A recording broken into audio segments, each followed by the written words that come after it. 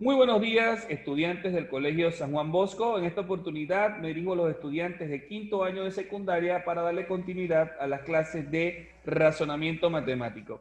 Como lo pueden observar, hoy vamos a trabajar en la página 105, como lo pueden ver en Corefo, vamos a trabajar con el mismo libro de Corefo en línea. Entonces, sin más decirles que ya las páginas anteriores están resueltas en su totalidad, y que es importante de que usted ya se esté poniendo al día. Si es que no ha venido a clase y si es que ha faltado, debería de ponerse al día para trabajar y tener las páginas en orden, ¿ok? Eh, según la definición que ya nosotros estudiamos, según la definición y según todas las demás situaciones que ya hemos visto, en esta página nos dan una serie de la siguiente manera. Considera la siguiente serie. T es igual a 5 más N, perdón, más 8 más 11 más 14 más 17. Si nos damos cuenta, lo primero que tenemos que hacer, analizamos esto que está acá y nos damos cuenta de que cada una sube cuántos? 3. 5 más 3, 8, 8 más 3, 11, 11. Ok, sube en consideración. Entonces el término enésimo de esa sucesión es la siguiente, ¿ok? Vamos a ir colocando, vamos a bajar la intensidad de la pluma, un momentico, antes de continuar. Ok, entonces el término enésimo de la sucesión sería 3, perdón, sería 3n, ¿ok? Más 2. Eso es lo que nosotros vamos a trabajar ahora. En el segundo puesto me dice, en el décimo quinto término de la sucesión es, usted va a decir, ¿cuál es el décimo quinto? El 15, 1, 2, 3, 4, 5, 6, 7, 8, 9. Usted va a empezar a contar, ¿no? 17 más 3, bla, bla, bla. Entonces, usted lo puede hacer. ¿Cuál será? Si yo hago, si yo meto eso en una fórmula, me están diciendo que es el 15, 3 por 15, 45 más 2. Entonces, ya yo no tengo que contar acá arriba, sino que de una vez yo voy y digo que ese va a ser 47, ¿ok? Según lo que me está haciendo acá. El número 3 dice, el décimo término sumado con el vigésimo término resulta, entonces, obviamente metemos acá el décimo término, que sería el 10, sería 32, entonces me dice, sumado al vigésimo resulta, entonces, o hacemos ese primero, después hacemos el segundo, lo sumamos y nos daría entonces 94, ¿ok? Eso es lo que nosotros tendríamos que hacer entonces en líneas generales. Dice, si usted tuviera 20 términos, el valor de la serie resultaría, o sea, sumándolo como lo veíamos en la serie, en la serie pasada, sería entonces 670. La suma de términos de t desde el décimo al vigésimo resulta, ¿qué es lo que vamos a hacer nosotros? Vamos a sumar entonces, perdón, Vamos a sumar entonces los términos desde el 10 hasta el 20 y vamos, por ejemplo, sumamos 10, 17, perdón, este, más 3, 13, todo eso lo vamos a sumar hasta el décimo. Lo sumamos y nos va a dar 517, ¿ok? Solamente la suma de ese término.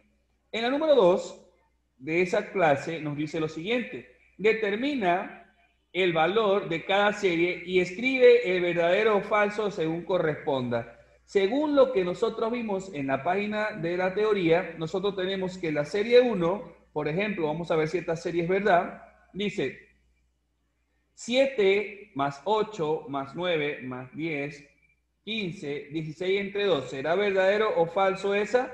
Por supuesto que es falsa porque no corresponde con lo estudiado en la pasada, ¿no? Tenemos entonces la serie 2, tampoco tenemos una que funcione de esa manera, también es falsa. En esta serie del cuadrado, ¿ok? Usted cuando revisa la teoría, obviamente ahí está una similar, por lo tanto, esta serie es verdadera, ¿ok?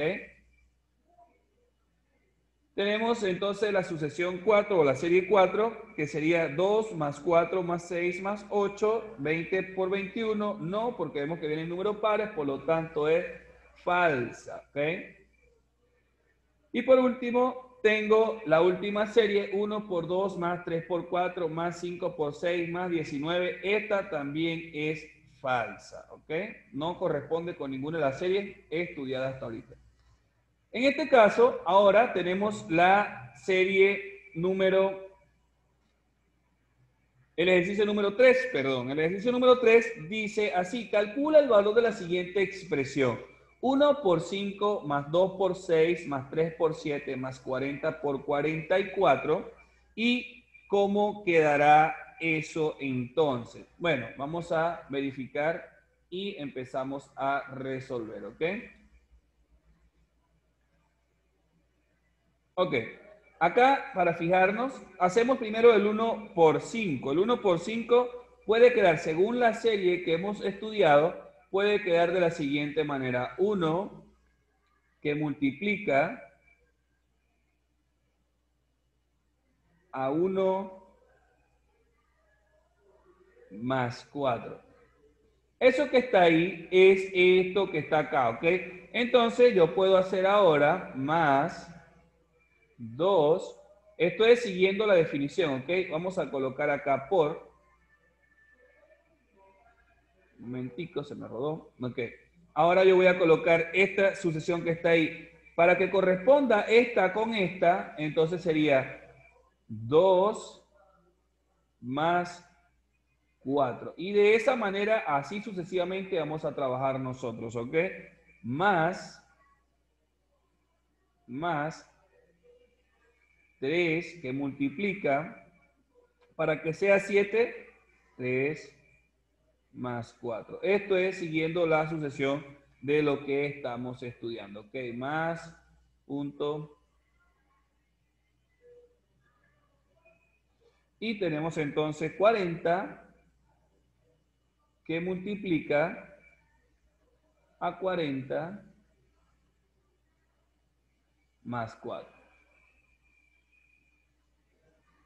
Y ahí tenemos entonces la primera forma de hacer esa sucesión. Ahora, obviamente, tenemos que empezar a aplicar cada una de ellas para que pueda funcionar y bueno, vamos a ver cómo va quedándonos entonces la siguiente sucesión. 1 al cuadrado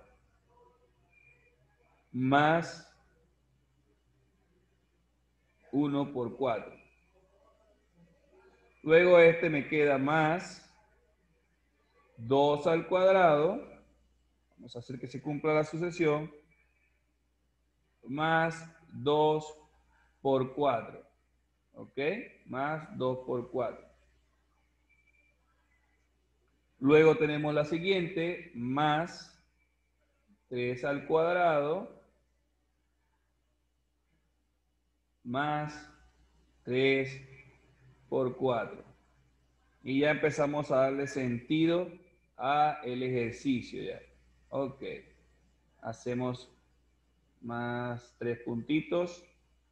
Más, obviamente, 40 al cuadrado. 40 al cuadrado. Más 40 por 4. Y ahí tenemos entonces nosotros el orden o el cumplimiento de la primera sucesión. ¿Ok? Entonces, para que quede finalmente como lo plantea la fórmula, sería primero el cuadrado, ¿no? Más el otro que está, todos los cuadrados, pues. El segundo, más el tercero, entre paréntesis, ¿no? Obviamente acá tenemos más 40 al cuadrado Ahí está. ¿Ok? Y sacamos un factor común acá. Todos son 4. Todos multiplican por 4. Mira, 4, 4, 4 y 4. Sacamos un factor común 4 que multiplique al resto de los números que están. 1, 2, 3 y 40. Entonces sería 1 más 2 más 3 más 40. ¿Ok? Eso es lo que nosotros tenemos que hacer con esa sucesión. Profesor, ¿y cómo quedaría entonces el resultado total de este ejercicio? Quedaría de la siguiente manera, armando la sucesión, quedaría entonces 40 por 41 por 81 entre 6 más 4, 40 por 41 entre 2 Ahí está. Entonces, resolvemos esa sucesión y nos quedaría que S es igual. Para el que tenga calculadora, si no, bueno, acá yo tengo el resultado, sería 22.140, 22.140 más 3.280. ¿Ok? Multiplicamos y dividimos y nos da 22.140. Multiplicamos y dividimos y nos da 3.280. Y cuando yo sumo esto, me va a dar 25.420. Profesor, eso es todo. Entonces, el valor de ese es 25.420. Eso sería todo lo que se va a resolver en ese caso. Y este tipo de ejercicio se resuelve únicamente haciendo o siguiendo las sucesiones con la definición. No tiene nada particular, no tiene nada difícil. Lo único es que tenemos que estar pendientes de las fórmulas de la sucesión trabajamos con la primera definición, con la primera parte de la teoría y eso fue el resultado, ¿ok? Ahí está, nada complicado, solamente siguiendo los pasos uno a uno y podemos tener, ¿ok? Espero chicos que haya sido de su agrado la clase del día de hoy, que hayan entendido un poco más acerca de este tema y que no haya sido de mayor complicación, ¿ok? Muchísimas gracias por su atención, nos vemos en una próxima edición.